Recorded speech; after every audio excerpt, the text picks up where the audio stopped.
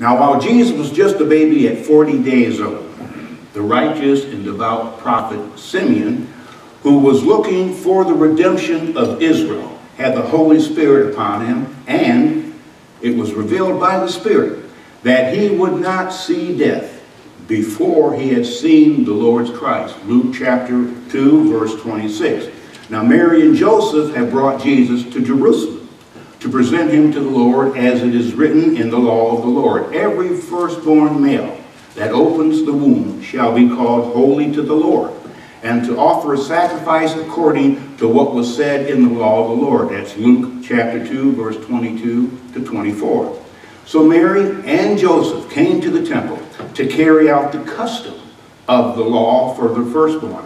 And Simeon took him into his arms and blessed God and said, Now, Lord, thou hast did let thy bondservant depart in peace, according to thy word. For my eyes have seen thy salvation, which thou hast prepared in the presence of all people, a light of revelation to the Gentiles, and the glory of thy people Israel.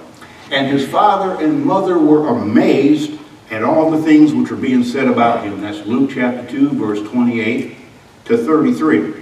And then Simeon declared to Mary, through the Holy Spirit, that her heart would one day be crushed by the heaviest of sorrows to bear. Verse 34 and 35. Behold, this child is appointed for the fall and the rise of many in Israel, and for a sign to be opposed, and a sword will pierce even your own soul, to the end that thoughts from many hearts may be revealed. Now, if you could go back into the Old Testament times of Israel, every wholesome Jewish girl longed to be the mother of the promised Messiah. Perhaps part of her ritual at night was offering up this prayer. Dear God, I can think of no greater honor than for you to allow me to cradle the Messiah in my arms as his earthly mother. However, with the greatest of privileges came not only the greatest responsibilities, but also in this case, the severest of emotional pain to carry. Before the birth of Jesus, Mary was given honor as no other woman had by the angel Gabriel. Hail, favored one, the Lord is with you. Do not be afraid. Mary, you have found favor with God. Luke chapter 1, verse 28, as well as verse 30. But here in Luke chapter 2, Mary is also told that she will suffer perhaps only as few other mothers had to endure. And we know this is referring to her witnessing the anguish of her son at Calvary's cross. Most of those who stood beneath and around the cross were anything but sympathetic to Jesus as he died there for them then and for us now. In fact, they came to mock rather than to mourn. They lashed out at him in contempt instead of lamenting over this miscarriage of justice that had taken place in their high court. They were vicious, jabbing him with their hurtful one-liners. Verbal abuse can be very painful emotionally as well as physical torment.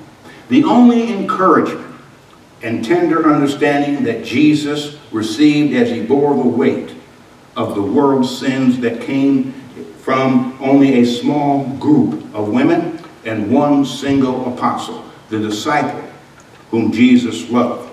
Jesus faced alone the greatest evil ordeal that human history will ever record that was against God. Now, one of those who was at the cross, possibly from the very beginning, was his mother, Mary, as well as four other women that were mentioned by name in John chapter 19, verse 24 or 25. Now, she stood at the foot of the cross during the first three hours of the six-hour period of crucifixion, and perhaps during the latter part of it, which was the time of the miraculous events, including the three hours of darkness, she might have withdrawn to a place farther away, as Matthew 27, verse 55 states, and many women were there looking on from a distance. During the first three hours on the cross, Jesus placed the well-being of his mother into the hands of John. And from that hour, the disciple took her into his own household. John 19, verse 26 and 27. It's possible that John, now her caretaker or son, took Mary there to witness Jesus' death from a distance. After all, Mary had already watched what they did to her son. She had also listened to their foul remarks directed towards her precious offspring. Now with that, John the Apostle of Love was expressing compassion to his new mother, Mary. Well, let us ask, as Mary, the mother of the promised Messiah, stood near the cross, what did she see? Can you imagine what Calvary looked like from the viewpoint of a loving mother? Mary saw her son suffer the excruciating pain of crucifixion. No doubt that is what Simeon's early prophecy meant. A sword will pierce even your soul, Luke 2, 35. Jesus had been, in the highest sense, the perfect son to Mary. You couldn't find a better statement about Jesus than who knew no sin, 2 Corinthians 5, 21. No curse word ever had fallen from his mouth. He never backtalked to his mother. His heart never entertained the slightest sinful thought. Imagine having the perfect child to rear. Now, I've had mothers tell me that their kid was perfect. And that youngster was about the most rotten ever. But at the cross, Mary had to view Jesus die the most painful, public, and shameful death that any human in the darkest place of his soul could devise for his fellow man. Most likely, Joseph died before Jesus' public ministry as the Lord's stepfather is not mentioned in Jesus' adulthood. But Mary had chosen to come to the cross with a few of her supportive friends. Her children that had been fathered by Joseph were not there with her.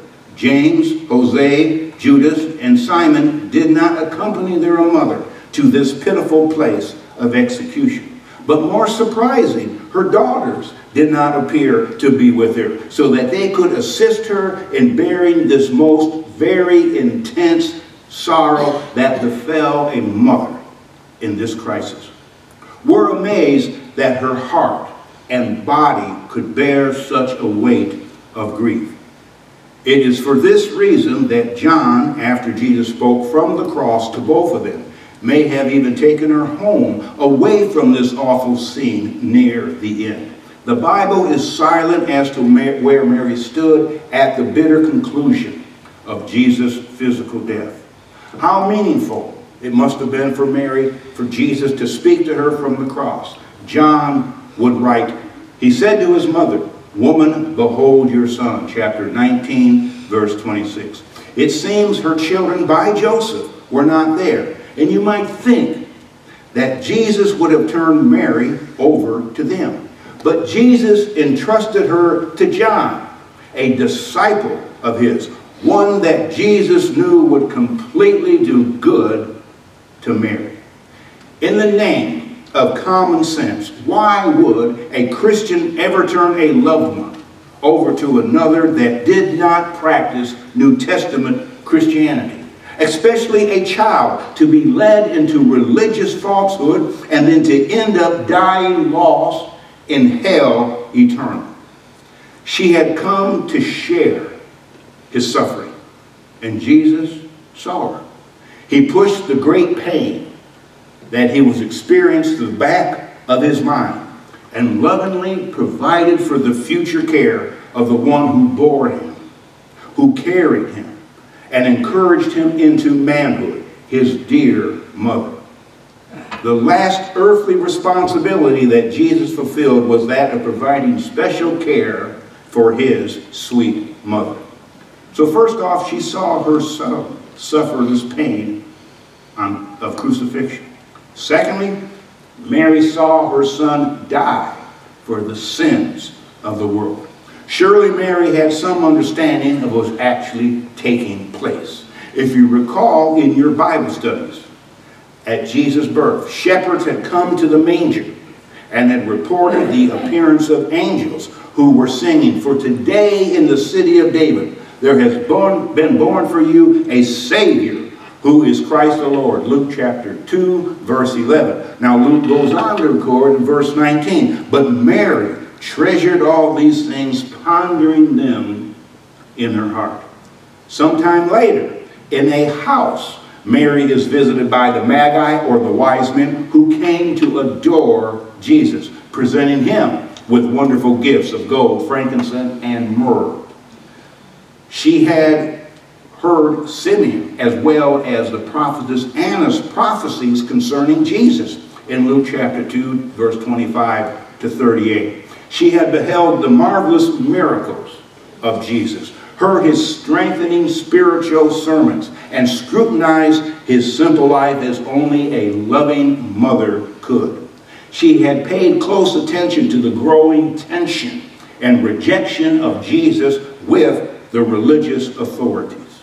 She probably, out of deep concern for the welfare of her son, had asked Jesus about many of these things. And he told her only what he thought she could and should understand. Mary, like others, did not understand everything about what Jesus was going through. Yet, as he daily approached closer to the shadow of the cross, his mission must have been clearer to her in some degree. Surely at the cross, Mary had reflections and recalled the appearance of the angel announcing Messiah that was going to be born to her. This heavenly being's words were too pointed for her not to understand. And behold, you will conceive in your womb and bear a son, and you shall name him Jesus. He will be great, and he will be called the Son of the Most High and the Lord God will give him the throne of his father David, and he will reign over the house of Jacob forever, and his kingdom will have no end. And Mary said to the angel, How can this be, since I am a virgin? And the angel answered and said to her, The Holy Spirit will come upon you, and the powers of the Most High will overshadow you. For that reason, the holy offspring shall be called the Son of God. Luke chapter 1, verse 31 to 35. So perhaps later on this very late part of Friday, she searches within herself and she says, I knew something was going to happen, but I did not know the details. I did not envision the agony and the shame of it. I now clearly see what all the prophecies meant. So secondly, Mary saw Jesus as the Savior of the world. Thirdly, Mary saw Jesus become her Savior. So the angel Gabriel told Mary that the child's name is to be Jesus in Luke chapter 1 verse 31. And an angel of the Lord told Joseph in a dream, and she shall bear a son, and you shall call his name Jesus, for it is he who will save his people from their sins. Matthew 1, verse 21. No, no doubt that Mary and Joseph, they compared notes about what they had received from these two angels. Perhaps they even talked over the meaning of the phrase, for he will save his people from their sins. How comforting it must have been for Mary to think that Jesus was dying so that she and the people of all the earth might have a Savior from their sins. Now, some falsely teach that Mary lived and died as a perpetual virgin and was without sin, as God's grace protected her from sinning, and she therefore did not need a Savior. Yet we find that Mary never acknowledged that she was sinless. And Mary said, My soul exalts the Lord, and my spirit has rejoiced in God my Savior. That's Luke chapter 1, verse 46 and 47. Now this Greek word, soter, for Savior, it means deliverer or preserver. Mary needed God as a Savior as any accountable person since her time and before. Now, with all the out of ordinary events that surrounded her life because of Jesus, we don't know how much she truly understood or how many of these truths she managed in her mind. However, she must have grasped some of them and hugged them tightly in her heart as she watched the life blood leave her son. The resurrection confirmed the valid, uh, the validity, valid, I'm getting the word. There you go. Whatever she said, that's it. Of everything that she had come to understand. When the disciples gathered in the upper room in Jerusalem and they prayerfully were waiting for the coming of the Holy Spirit that had been promised to them by Jesus in Acts chapter 1, verse 8, Mary was in that number assembled. After mentioning the apostles in Acts chapter 1, verse 13, we read verse 14 and 15. These all with one mind were continually devoting themselves to prayer, along with the women and Mary, the mother of Jesus, and with his brothers. And at that time, Peter stood up in the midst of the brethren, a gathering of about 120 persons. Now, although her daughters were not mentioned in the phrase, and with his brothers, that may be an inclusive expression referring to all of Mary's entire children, which would be sons and daughters. Mary did give birth to the Messiah, but at the cross, he became her Savior, who was dying so that she also could be saved from her sins.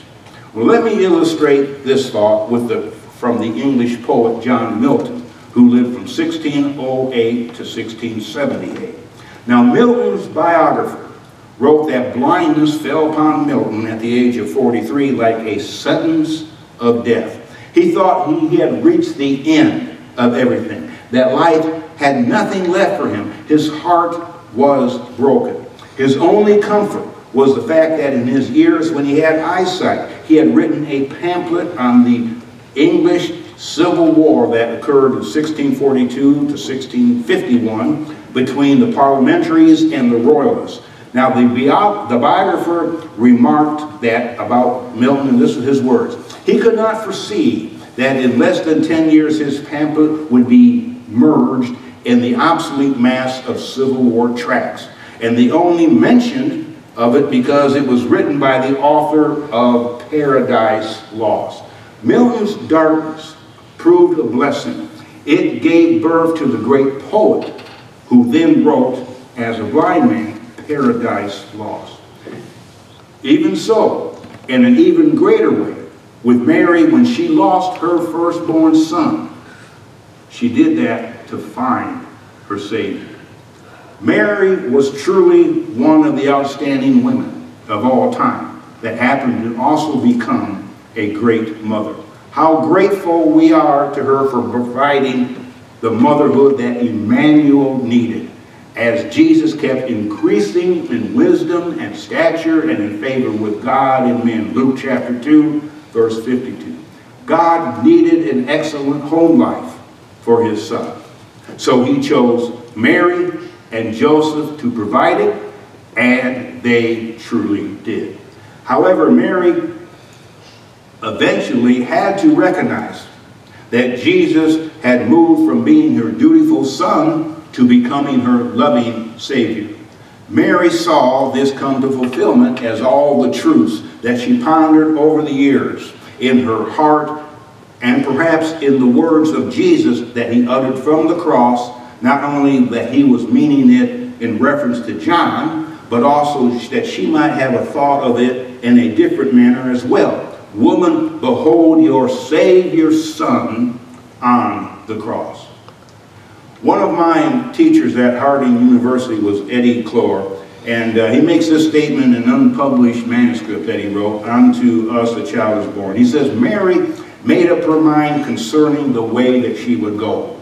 And she went that way even though her journey went through Golgotha with her son was crucified.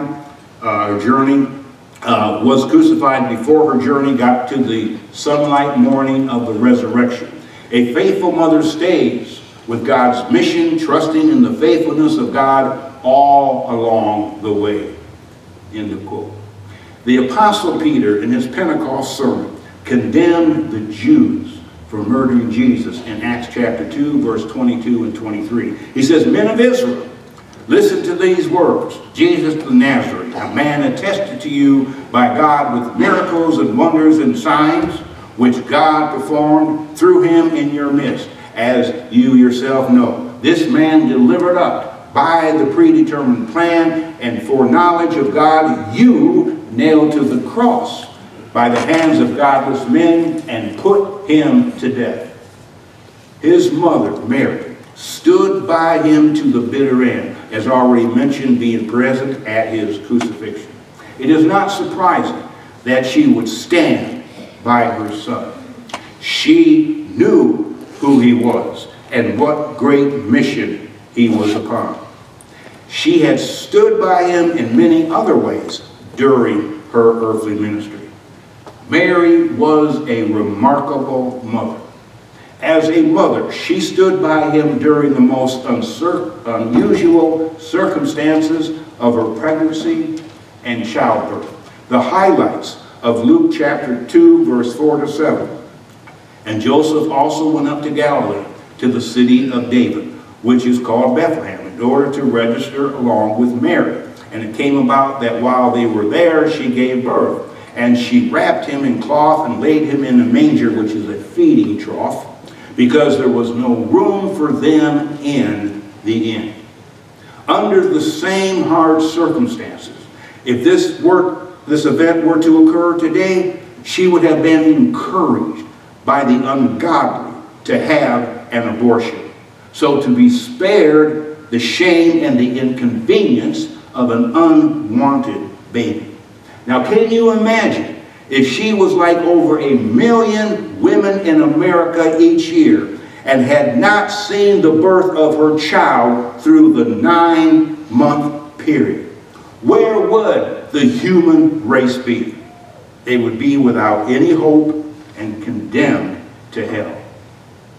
As a mother, she stood by him during a very difficult, dangerous journey to Egypt when King Herod was on a rampage to murder the Christ child due to his jealousy of fear and losing the throne of his kingdom. The highlights of Matthew chapter 2, verse 11 to 23, and when they, the wise men, had come to the house, they saw the young child with Mary, his mother, and they fell down and worshipped him. Then being divinely warned in the dream that a dream that they should not return to Herod, they departed for their country another way. An angel of the Lord appeared to Joseph in a dream, saying, Arise, take the young child and his mother, flee to Egypt, and stay there until I bring you word. For Herod will seek the young child to destroy him. Then when Herod saw that he had been deceived by the wise men, was exceedingly angry, and he sent forth and put to death all male children who were in Bethlehem and all of its districts from the age of two years and under. And when Herod was dead, an angel of the Lord appeared in a dream to Joseph in Egypt, saying, Arise and go to the land of Egypt for those who had sought the young child's life are dead. Then he arose and took the young child and his mother and came to the land of Israel. And being warned by God in a dream, he turned aside into the region of Galilee, and he came and dwelt in a city called Nazareth. There are mothers today who abandoned their families for far less than what Mary endured in Matthew chapter 2. As a mother, she stood by him when a glimpse of his mission and destiny began to emerge at the age of 12. In Luke chapter 2, verse 48 to 52. And when they saw him, they were astonished. And his mother said to him, Son, why have you treated us this way? Behold, your father and I have been anxiously looking for you. And he said to them, Why is it that you were looking for me? Did you not know that I had to be in my Father's house? And they did not understand the statement which he had said or made to them. And he went down with them and came to Nazareth, and he continued in subjection to them. And his mother treasured all these things in her heart. And Jesus kept increasing in wisdom and stature and in favor with God and men. Jesus gently informed Mary that there was a difference between the your father, Joseph, that Mary mentioned in verse 48, and the my father, God, that Jesus referred to in verse 49. Yet she was a normal earthly mother, and Jesus was still a submissive child. There are mothers today whose jealousy makes them resent a child that has a wholesome career that exceeds the achievement of the parents. Every mother and father ought to be excited when their offspring is able to cast a bigger shadow for good in life than they ever did. Let us always learn to be proud of their achievements. As a mother, she stood by with him in his per, per, uh, first public min, uh, min, uh, miracle, which was performed to launch his earthly ministry. The highlights of John chapter 2, verse 1 to 12. There was a wedding in Cana of Galilee, and the mother of Jesus was there. And when the wine gave out, the mother of Jesus said to him, They have no wine. His mother said to the servants, Whatever he says to you, do it. Jesus said to them, Fill the water pots with water. And they filled them up to the brim. The head waiter tasted the water, which had become wine. Jesus quietly began to withdraw himself from her authority as an earthly mother. In the Jewish culture, now at the age of 30 years, Jesus was considered a man to make his own mark or own plus sign in life. Mothers need to know how to let their children go while standing by to support them as needed. Mom, you have to learn to be able to kick them out of the nest for them to go and collect their own worms. As a mother, she stood by him when she explained, when he explained that others share a closeness to him without that relationship shutting her out. Now the highlights of Matthew chapter 12, verse 46 to 50, as well as Luke chapter 11, verse 27 to 28. Someone said to him, Behold, your mother and your brothers are standing outside seeking to speak to you. But he answered, Who is my mother and who are my brothers? And stretching out his hands towards the disciples, he said, Behold my mother and my brothers. For whoever shall do the will of the Father who's in heaven, he is my brother and sister and mother. And one of the women in the crowd raised her voice and said to him, Blessed is the womb that bore you, and the breast on which you nursed. But he said, On the contrary, blessed are those who hear the word of God and observe it. Now, these two passages teach the error of undue reverence to Mary and also refute the claim that she was a perpetual virgin and not bearing children to her husband, Joseph. These verses state that as great as Mary was, that we also can share in the same spiritual benefit that she did. And lastly, as a mother, she stood by his divine cause when he was no longer in her personal presence, as seen in Acts chapter 1, verse 13 and 14, which we mentioned earlier. The 120 disciples that were gathered together were going to be the core of the new church established in Jerusalem. It was up to all of them to remain faithful to every New Testament pattern that was given by the Holy Spirit. The pattern of salvation, the pattern of worship, the pattern of church organization, and all the other first century doctrines. Many, after having the shame of losing a child, as Mary did, have allowed bitterness and deep hurt to bring them to say to God, I blame you for the death of my child. So I will serve you no more. Mary stood solidly by the tremendous New Testament cause that was so dear to her son.